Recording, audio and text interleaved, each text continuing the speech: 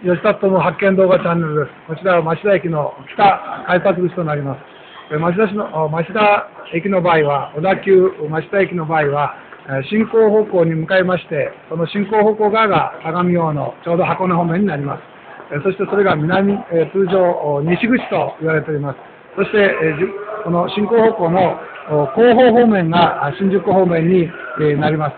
そちらがこの東口という表紙になります。ここは現在、北改札口という表示になっておりますが、この一見、町田駅の場合は、この新宿方向が北ではないか、そして、この相模方の方が南ではないかというふうに解釈をされますが、駅の名前の付け方はこのようになっておりまして、この待ち合わせをする場合に非常に不便になっております。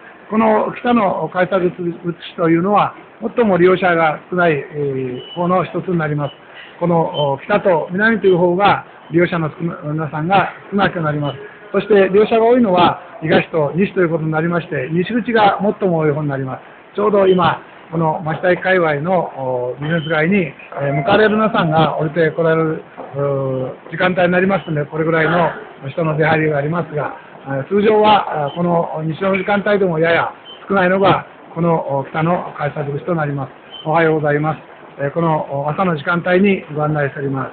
それぞれ町田小田急町田駅を改札口の観点から皆さん方にご覧いただいております。ちょうど朝の通勤時間帯、通学時間帯になります。そうした中で、この北口と南口は、やはり利用者が少ないというのが現状です。以上で終わります。案内です。